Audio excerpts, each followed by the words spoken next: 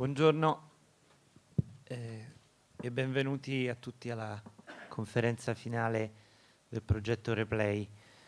Um, prima di dare la parola al padrone di casa, al sindaco, per, eh, per i suoi saluti, eh, vorrei eh, spendere due parole per spiegare il motivo per cui siamo qui, che eh, chiaramente ehm, noto a chi questo, questo progetto eh, ha ideato e, e al quale, ha lavorato e forse meno noto ai giovani che vedo qui numerosi stamattina che ringrazio perché stanno sacrificando il loro sabato mattina per un, per un convegno.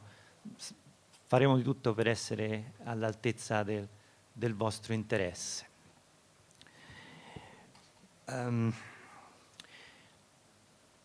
allora, um, una convenzione, eh, un trattato internazionale è un accordo tra stati. Né più nemmeno gli stati si mettono d'accordo che esiste una piattaforma di legalità comune che andranno a dividere, cioè quello che è legge in un paese sarà legge in un altro. All'interno di quella che è la convenzione più firmata, più accettata dagli stati nel mondo oggi nel diritto internazionale, la Convenzione sui diritti dell'infanzia, esiste un articolo, l'articolo 31, che sancisce una serie di diritti. Il primo è il diritto al gioco, poi il diritto al riposo, al tempo libero e attività ricreative. Questo progetto si è concentrato sul primo di questi diritti, il diritto al gioco. Um, non è una peculiarità soltanto italiana, ma proprio perché si è trattato di un progetto europeo, l'abbiamo riscontrata in altri paesi. In realtà quello che dovrebbe essere un po' il dovere del potere legislativo in tutti i paesi, cioè l'adattamento di questo accordo alla legislazione interna ci mettiamo d'accordo che il gioco è un diritto? Bene, noi predisponiamo il nostro ordinamento e le nostre amministrazioni locali affinché questo diritto possa essere recepito. Bene, questo in Italia non è ancora avvenuto, così come non è avvenuto in tanti paesi. Questo progetto ha lungi dal voler dare una eh, soluzione a questo problema, ha voluto prepotentemente nel nostro piccolo sottolineare questa carenza, che indipendentemente dalle carenze eh, pertinenti, proprie a un ordinamento, è una carenza di responsabilità nei confronti di quello che dovrebbe essere l'interesse primo di un paese, l'infanzia. Signor Sindaco, questo progetto da questo punto di vista è stato un capolavoro. Noi abbiamo in tutti i modi cercato di sottolineare che questa è una carenza importante, che ferisce l'infanzia sin dall'inizio, perché il diritto al gioco ha aspetti pedagogici che vanno al di là di quello che normalmente viene considerato un semplice passatempo. Le do subito la parola, sono in chiusura questo capolavoro come tutti i capolavori, come tutte le imprese, ha avuto dei paladini, sono tanti. Io per, per questioni proprio di tempo ne scorderò infinitamente.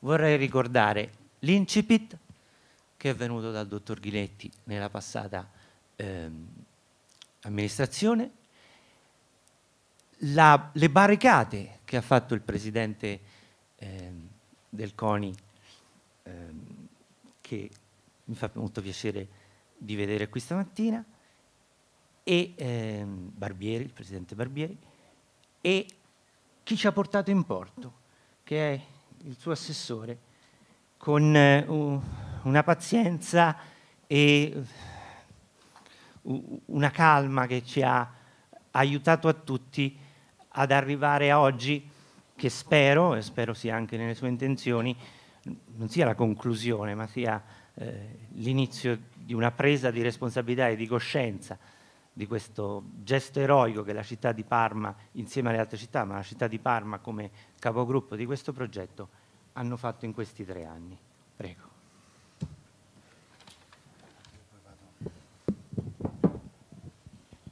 Intanto mi alzo così, magari anche da dietro riescono a vedere. Non che io sia tanto alto, però almeno in piedi faccio meglio.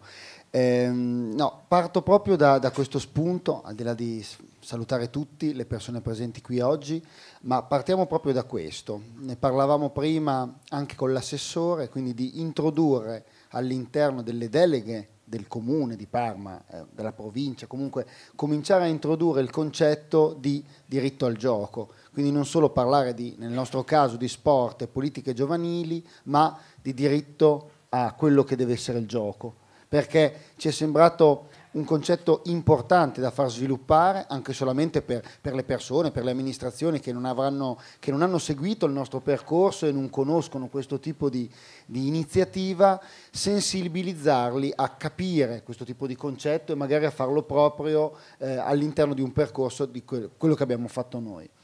Quindi partendo proprio da questo spunto mi unisco soprattutto a voi nei ringraziamenti delle persone insomma, di tutti gli altri stati europei, ma anche delle persone dello staff del comune di Parma che hanno attraversato questo periodo, si sono impegnate per realizzare eh, tutti gli eventi che abbiamo fatto a Parma e in Europa perché hanno rappresentato secondo me un bel momento per la città di Parma e non solo, per far capire la sensibilità che c'è per questo tipo di, di, iniziative legate soprattutto ai bambini, in cui noi abbiamo sempre detto come amministrazione saremo comunque sempre presenti perché il, il far giocare i bambini, che saranno ovviamente gli adulti di domani, è un concetto fondamentale per la loro serenità, per la loro crescita culturale, psicologica e eh, quindi come faranno ingresso nella società.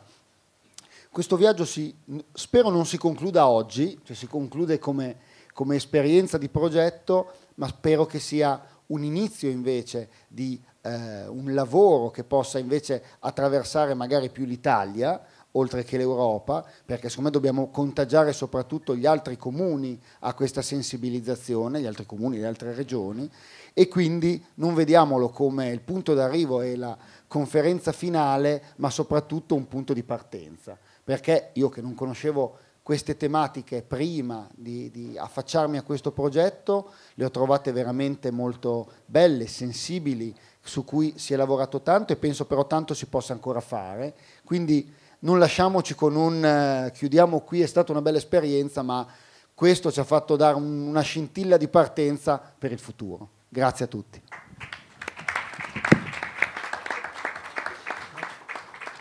Bene, grazie signor Sindaco e siamo contenti di, di sentire anche lei entusiasta verso la prosecuzione. Um, nell'arco, lo dico a beneficio specialmente del pubblico, nell'arco di questa mattinata ci saranno um, due momenti eh, molto importanti eh, e inediti. Um, questo progetto è stato così eh, involontariamente il precursore eh, di un parere da parte delle Nazioni Unite, eh, un parere che è stato dato dall'Assemblea Generale in una delle sue commissioni due settimane fa, orientante i paesi firmatari di questa convenzione su come applicare il diritto al gioco. Avremo una, passatemi il termine, una previews perché sebbene eh, questo commento sia passato agli atti non è stato ancora pubblicato e non è quindi ancora pubblico, è questione di giorni. Però avremo eh, Margaret Westwood come rappresentante dell'IPA, dell'International Play Association, che ci dirà alcune cose. E quindi è un'altra nota d'orgoglio il fatto che Parma si, si sia messa insieme con altri eh, sette paesi a lavorare eh, in, modo, eh, in, in, modo, anticipatorio rispetto a quella che poi era una carenza, è una formulazione di indicazioni che addirittura vengono dall'Assemblea Generale dell'ONU. L'altro momento molto importante sarà la presentazione dei dati eh, di questo progetto, cioè eh, ci sono stati dei questionari che eh, nei paesi che hanno partecipato al progetto sono stati fatti. E, e quindi abbiamo cercato di capire qual era la percezione di questo diritto o la percezione della mancanza di questo diritto da ragazzi, da studenti, da bambini, dai loro genitori, dai loro professori e da adulti in generale. Eh, quindi questi due momenti sono, eh, verranno questa mattina presentati per, per la prima volta in assoluta e visto che siamo in un contesto internazionale ci si consente in assoluta mondiale. Un altro degli elementi importanti che è avvenuto qui a Parma è stato eh, il cercare di coinvolgere eh, lì dove era possibile, con i mezzi che avevamo a disposizione, di coinvolgere la società civile rispetto a questo progetto. E a Parma, come in altri paesi, è stata stabilita una, una consulta. E eh, ho qui il vicepresidente, il professor Walter Antonini, della consulta, al quale chiedo intanto di dire due parole perché poi ci sarà una tavola rotonda proprio su questo tema.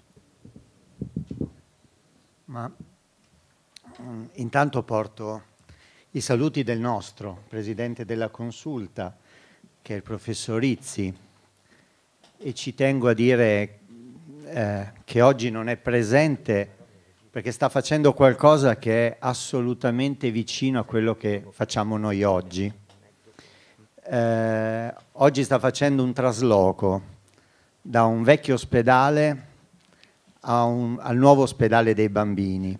Perché lo collego?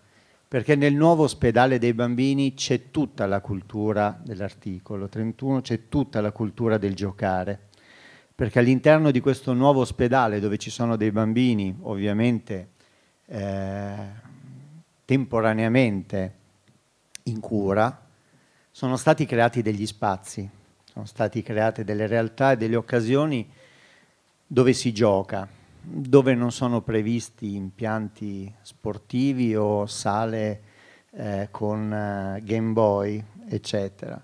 Sono previsti spazi dove i bambini giocano con la fantasia, dove giocano con la propria creatività, con lo spazio, dove trasformano una sedia in una macchina, in un cavallo, dove ogni piccolo oggetto può diventare qualcosa sul quale giocare.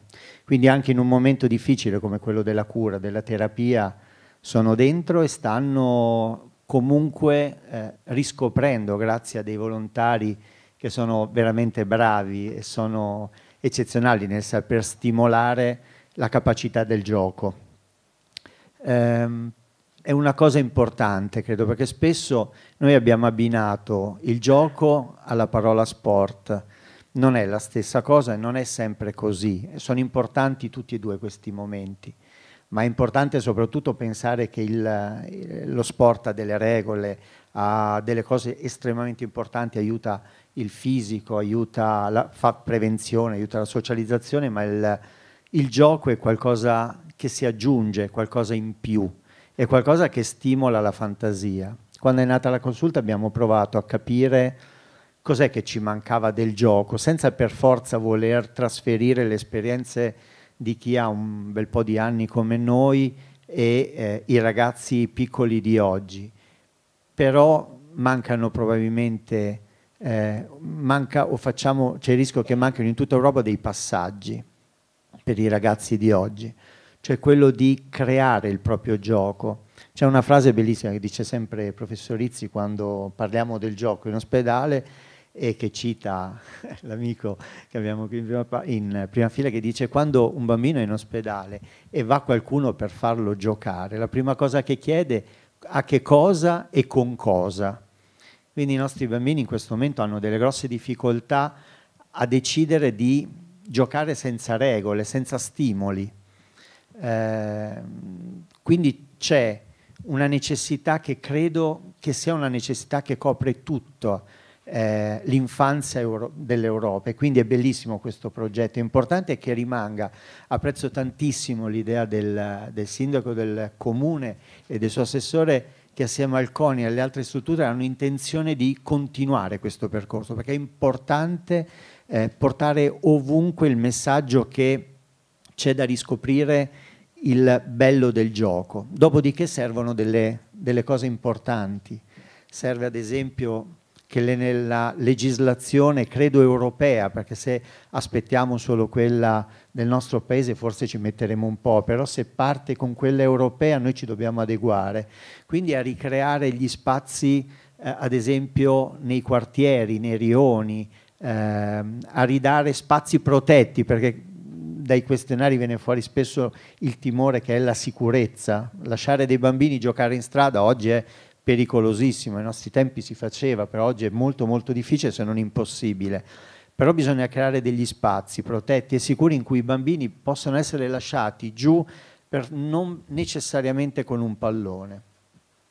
Quindi credo che mh, il diritto al gioco così come la consulta nelle tante occasioni che ha creato eh, abbia comunque tracciato un piccolo percorso, un percorso estremamente importante eh, di cui facciamo tesoro eh, all'interno del progetto Replay, ma che ci auguriamo possa essere condiviso in tutti i paesi eh, europei, proprio perché è una filosofia, cioè che il diritto al gioco parte non solo garantendo la possibilità di fare sport come è sempre stato considerato, ma proprio riportando la parola gioco alla sua origine, giocare con la fantasia, giocare col con poco, giocare mettendosi in gioco con altri ragazzi pari età.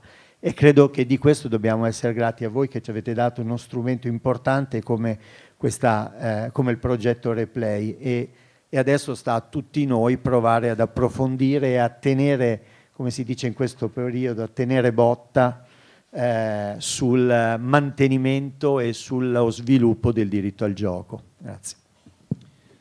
No, grazie, grazie a tutta la consulta. Eh, fosse altro perché ha fatto questo a titolo volontario e poi perché senz'altro è attraverso la comunicazione e la sensibilizzazione che si riuscirà forse a, a essere coesi nella soluzione di questo problema o nell'indicazione di alcune soluzioni. Una delle nostre ossessioni, cioè dei, delle ossessioni dei, degli ideatori di questo progetto, era mh, eh, rilevare come mh, rispetto a diritti sanciti in maniera tradizionale anche dalla stessa convenzione sui diritti del fanciullo, cioè diritto alla salute, beh, se sto male vado in ospedale, diritto all'istruzione, ci sono le scuole, ci sono gli asili, diritto al gioco, dove vado? Se un genitore non ha la capacità, non ha la fantasia, non ha le possibilità di far giocare il proprio bambino, dove è la sponda d'aiuto? Oltretutto il gioco è proprio una disciplina che nasce come deregolata, come non osservata. Se uno comincia a dare delle regole dall'esterno ai bambini per giocare non è più gioco. Quindi avevamo un rompicapo impossibile, assessore. Eh, era, eh, era quasi impossibile non essere intrappolati tra, in una contraddizione che è prima di tutto sociologica, pedagogica e poi anche, anche amministrativa. Dici, dici, due parole. Innanzitutto buongiorno a tutti. Eh, aspetta che trovo la posizione adeguata, perché me lo tiro nei denti. Eccoci. Ma eh, io penso che vero, la vera sfida non sia l'identificazione di, luo di luoghi o forme, ma, ma, davvero partire dal concetto che è primordiale, l'attenzione alla persona, intesa come, come individuo e come parte di un tutto persona che è una persona piccola, una persona bambina, una persona adulta, una persona, perché il, il, gioco del bambino comunque è quel mattone che sta alla base di tutta una società perché si, si sviluppa da lì no? la, la, la, coscienza del sé, la capacità di risolvere i conflitti, il rapporto verso l'altro, eh, il rapporto verso l'ambiente che mi circonda, l'ambiente in cui vivo, eh, le strutture, eccetera, eccetera, eccetera. Però fin tanto che il gioco del bambino non è un problema, se vogliamo chiamarlo problema, comunque un argomento di cui tutti sappiamo di doverci far carico, eh, si ritornerà sempre ad aspettare che sia un qualcuno un qualcosa a risolvere. Eh, il fatto che tante volte eh, si parli, eh, di, che quando si parla di gioco spesso si ritorni alla propria infanzia e soprattutto nelle generazioni che meno hanno avuto, hanno più giocato, è un segnale che eh, non, non deve passare inosservato, perché comunque la, la differenza sta nella fantasia e in quanto una società si possa permettere il lusso di stimolare questa fantasia. Eh, sono argomenti molto grandi, però è un paradigma culturale che deve cambiare o che se vogliamo dobbiamo impegnarci a far cambiare. Eh, perché interrogarsi sul diritto al gioco vuol dire eh, pensare necessariamente a eh, dare la possibilità ai nostri ragazzi, ai nostri bambini di inseguire i propri talenti, di eh, dargli la possibilità di sognare che cosa vogliono essere senza imporgli che cosa debbano diventare. E quindi coinvolge un modo più, più maturo e più impegnativo anche di essere genitori e di accettare in un qualche modo le scelte eh, del bambino che di fatto in una in un'età si può permettere di sognare l'astronauta e non è giusto dirgli che non lo deve o non lo può diventare. Allo stesso modo eh, ci interroga sulla capacità eh, di noi adulti di rapportarci con i bambini in una società che ci ha costruito addosso delle sovrastrutture per le quali siamo imbarazzati di fronte a un bambino.